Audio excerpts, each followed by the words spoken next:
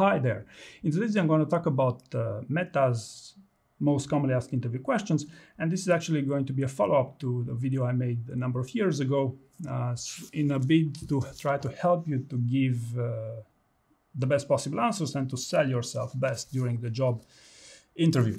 Um, the most commonly asked question in, in interviews with Meta is uh, why Meta, or why do you want to work here, or why do you think you'd be a good fit for this role? Okay, so how to build the best possible answer for this.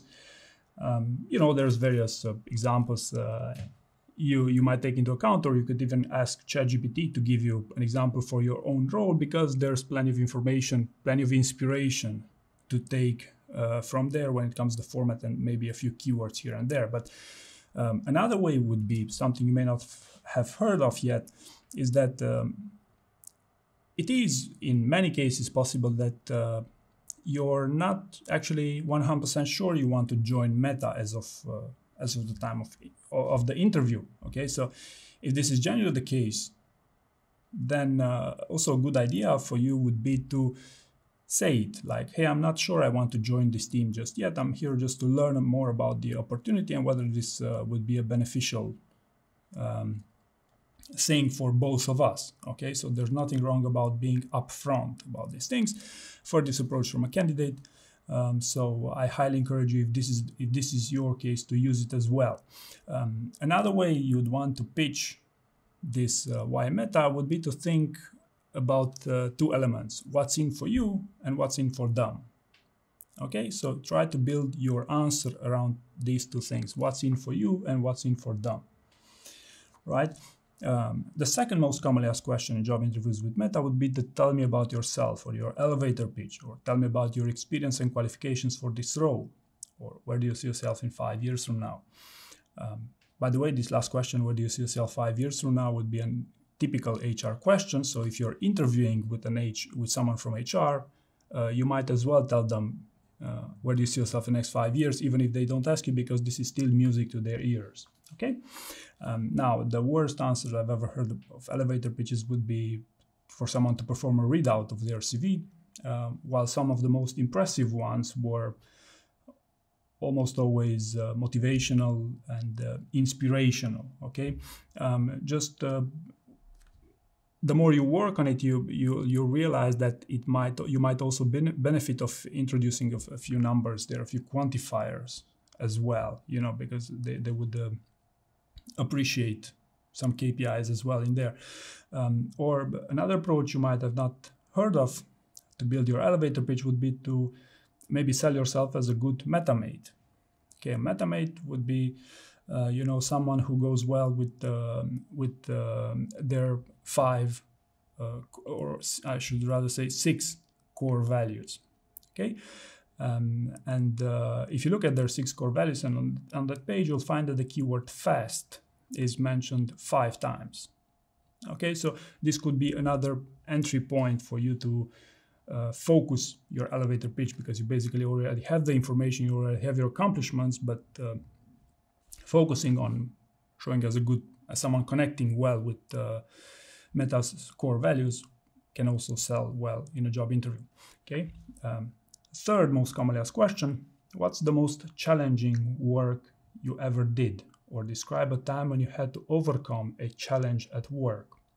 Or tell me about the time when you managed a difficult situation and what was the outcome. Okay, so this is another pretty standard interview question. It could be an example of an impossible deadline you've achieved or a critically important problem for your role. Um, the question is pretty easy to understand and to answer. The challenge is almost uh, inevitably to find your best story, okay? And the other thing I wanted to mention here is the, describe a time when you had to overcome a challenge at work is a behavioral question. A behavioral question is when they are asking you for your past experience in order to enable for them to predict your future performance on the job. Okay, and what's uh, interesting for you as a candidate from from uh, for these behavioral questions in particular is that you must uh, employ the star format to answer them situation, task, action, and result. You might have already heard of this. What you might not already know is, is that interviewers expect you to communicate your answer, answers in star format because uh, also because people prefer familiar approaches. They always hear answers to behavioral questions in star format, but also because it's something that works, something that uh, employers use for a number of years, uh, and uh, it's a highly successful method to to do well, especially in behavioral interviews. Okay, so um, this would be the main thing uh, to focus on if you're just starting your preparation to focus your answer in a in a star format here. Okay, so this was the challenging uh, work you, the most challenging work you've ever did. Next one, and by the way, I'll, I'll go with more specific uh, guidance as we'll move uh, through the other questions, which are you know a bit, little bit more specific as we go through as we we advance through the list. Um, number four, what are your strengths and weaknesses, or what's your superpower? Okay, what's your superpower? It's equivalent to what's your strength right?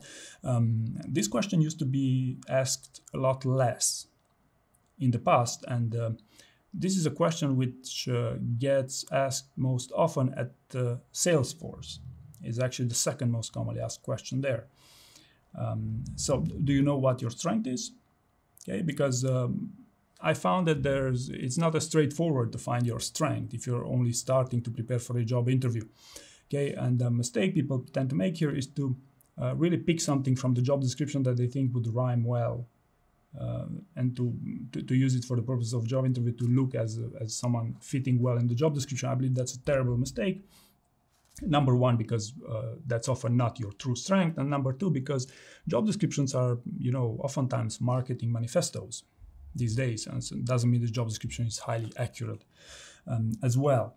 Um, an example of uh, strength, uh, my strength would be persuasiveness one of them okay and i would pitch it uh, with an example for example uh, as for being persuasive being able to upload 200 consecutive uh, videos on consecutive days on, on youtube which ended up in more than 1 million views within the time frame timeline i uploaded them okay so notice here the kpi in the results okay but generally speaking you'd want to think what's your strength or your weakness and talk about an example here uh, if you're wondering what's the most common weakness people use in job interviews, it's public speaking, of course. And uh, they even uh, the employers have started to ask you for three weaknesses simply because they they know everyone will use the first one as public speaking, right? Next one, describe a time when you faced a conflict with a team member. Or tell me a time when you encountered a conflict with a coworker. How did you resolve that conflict? Or tell me about the time when you disagreed with your manager. Right? So why would they ask you such a question in a job interview? Such a behavioral question, by the way. Uh, it's because of interpersonal skills. Okay, so for um, for I should say for developers and for non-managerial level roles, non-leadership roles, this would be exclusively for interpersonal skills. If you're applying for a a very senior role, the reason why we'd ask you about conflict is because they also would like to see about uh, your business acumen, your ability to resolve conflict within a business context and for a business outcome. Okay, but we'll keep it simple for now because we'll have a number of those questions a bit later on. Okay, so um, what I would encourage you here is to find your own story because the most terrible mistake you'd ever make is to take ChatGPT's story of an interpersonal conflict and uh, adapt it to your needs. This never works. Um, and um, to, to, really um, think of it this way interpersonal, um, th- these conflicts are al- almost never um, ideal. You know, the, the, the, resolutions are almost never ideal. Okay, so there's no problem if there, there was bits of information that, that some imperfections to your stories. If things things didn't necessarily go your way, even uh, after the co- the conflict w- w- was resolved, even if you were didn't end up as best friends with the person uh, that you had a conflict with, still it's a perfectly viable example. And the more realistic the example is, the best it will sell yourself during a job interview. Okay. Um, the reason why I'm saying you should avoid uh, cloning answers straight from ChatGPT is because it will not hold to, to their follow-up questions. Any experienced interviewer will easily read if your answers is yours or not through follow-up questions. Uh, for example, the follow-up questions could be a, what's called a backbone test. Okay, so for example, if you talk about a conflict with your manager, which with your manager, which you cloned from ChatGPT, they would ask you, "Hey, but are you really sure? I mean, what if the manager did this or that? Are you really sure that's?" Uh? And most of people will fail here and will uh, actually agree with the interviewer. Yes, I could have done better had I uh, essentially did the exact opposite of what I said in my original story, because you don't have, you cannot hold the story so long it wasn't yours and your example wasn't yours. So you will tend to have a, to agree with them for the sake of social cohesion, and basically it's game over because you failed the backbone test, and um, you know it won't work. So again, find your own examples. Uh, that doesn't have to be perfect, but it has to be yours. That's the main thing here. And of course, you know, in the STAR format: situation, task, action, and result. Next one: How does teamwork come into play in your current role? Or what is your experience working in a team? Or share an example of when you demonstrated teamwork. Okay, uh, so basically what they're asking here, it's what's a time when you, your contribution to the team made a difference? Okay, this is the this is the main thing when it comes to these questions. Um, most often the examples here will be uh, of you supporting a team member in various scenarios. You know, maybe they called in sick, maybe they were underperforming. Okay, but the idea is that um, it must be you. Uh, it, it must be you. You when you played a significant role uh, that you can demonstrate. It was a significant thing you did for the good of the team. Okay. Um, some keywords you'd want to keep in mind here are listening skills and uh, a positive attitude. Okay, maybe something interesting for you to include in your answers. And uh, um, if you want to picture yourself as someone um, genuinely working for the good of the team, there are, you know, people who always prioritize the good of the group as a whole, you know.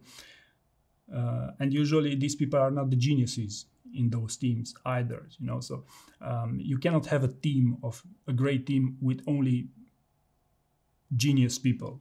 You know, you you can think of Elon Musk and Mark Zuckerberg working on the same team. Okay, it, it, it's highly unlikely it would it will ever work.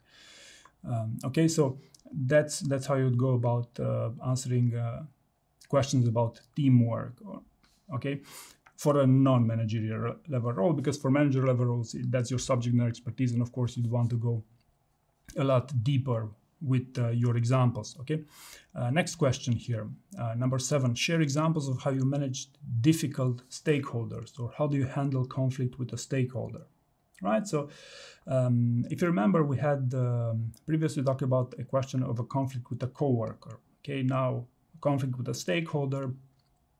Um, there I said for non-leadership roles, they are basically interested in your uh, interpersonal skills and that's it. And now when it comes to managing difficult stakeholders, you know, they are interested also in your business acumen, in resolving a conflict for the purpose of a business outcome. Okay, um, for example, a, a colleague of, of, of, yours or a stakeholder refusing to approve your bid, your offering to a customer. Okay, and what you did, how you earned their trust to move on with the with the offering and eventually, you know, create business, uh, deliver on a business outcome okay uh, so the keyword you'd want to take into account when building your case around uh, working uh, with difficult uh, people would be trust okay? Trust. So that's how you gain buy-in and uh, you know essentially that's how you manage difficult stakeholders. And of course you know you could prove your point with uh, various other elements such as data um, and other stuff okay? So uh, it doesn't have to be perfect. Again you don't have to end up being the best friends with the with that difficult stakeholder but uh, you must link this to a business outcome. And this is the main reason why this question gets asked uh, quite a lot actually Next one, describe a project you were responsible for or you led, or how did and how did the project relate to business goals? How did you plan the roadmap and how did you respond when the schedule slipped? Okay, so um, translation here, um, what's the best story you prepared for the interview? Okay, um, and um, it's a pretty commonly asked question both at Meta but also in other companies. And um, here I'd like to highlight, you know, where is the difference being made here in, in answers to in answers to this question? Um, this um, this is, you know, usually the leading question into a deep dive. In other words, they are trying to see on whether you actually own that story and whether you can remember all the details of that project. And uh, if that project happened 10 or 15 years ago, uh, chances are you won't remember much. From that, you won't remember some key performance indicators if you want. Um, and then the danger is that you'll be perceived either someone who didn't prepare for the interview or worse, you didn't own the project. Okay, so that's why here there's um, there's a um, a well-tested method to perform well in behavioral interview. That is to prepare a story bank for the interview. Uh, this uh, this method of preparing a story bank for the interview is in contrast with another method that most of you would use, uh, that is to only try to answer behavioral questions and see on whether you could have an answer to a behavioral question. Uh, the difference uh, between the two, as uh, and I'm giving you this uh, sample question as an answer, is that if you would try to find the project that you were responsible for, probably the challenge wouldn't be as much as uh, remembering the details, but just finding an example. Whereas if you prepare a story bank with a story for a project you'd be responsible for, you'd want to develop even further on your story about um, a project you're responsible for, including the follow-up questions. Even some of you will make a brain dump of several pages for that story.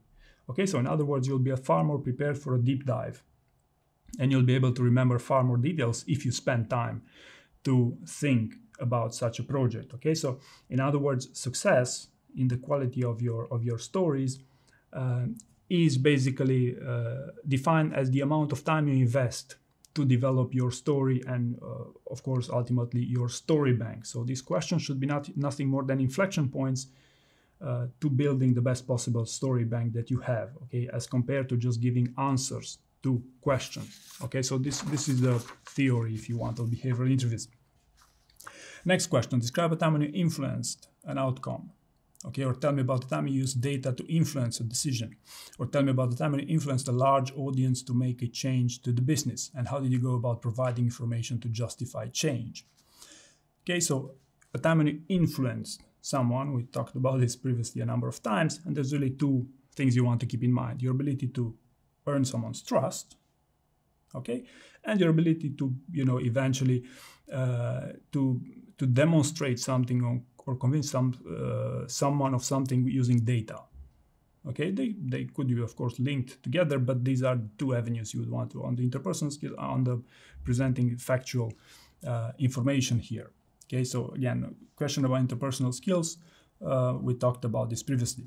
Next one, how do you deal with ambiguity or describe an, uh, a time of ambiguity and how you navigated a solution that worked for all stakeholders or time when you solved an ambiguous situation. Okay, so this is about uh, decision making uh, within um, ambiguous times or with um, dealing with ambiguity in general, and uh, this uh, is actually quite a big topic in job interviews. And I want you to think about the expression are right a lot. Great leaders are right a lot. It's actually a leadership principle for Amazon, but still, there, this is also, also an expression in English that, that great leaders are right a lot of the time. So most of the time. Okay, so uh, this is this is what makes a great leader, and this is what you, what you want to show during a job interview. Okay, so um, if you want an example of uh, of leadership, of efficient, uh, of what I mean by great leader, it would be okay Mark Zuckerberg might have not gotten the metaverse bid quite right. Fair enough, but still, if you if you track his decision making for uh, the past uh, six months or even a year during this year of efficiency, uh, he's gotten it quite right a number of times. Okay, so are right a lot. Okay, and if you're looking at Meta stock is worth more than Tesla right now.